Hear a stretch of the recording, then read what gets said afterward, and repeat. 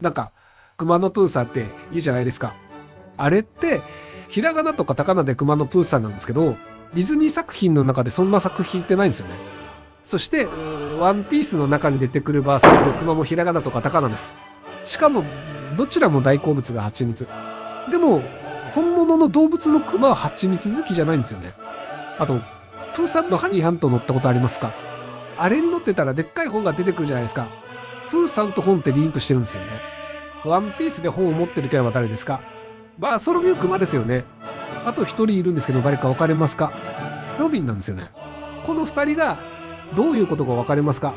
熊のプーさんとクリストファー・ロビンですよね。どっちも革命軍と絡んでますよね。だから、最終章でがっつり絡んでくると思うんですよね、この二人。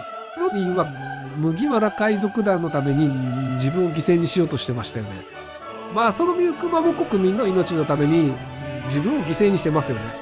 この2人は明らかに今後の大事な鍵を握ってますよね。あのーもう何でもいいんでチャンネル登録だけしといてもらってよいですか？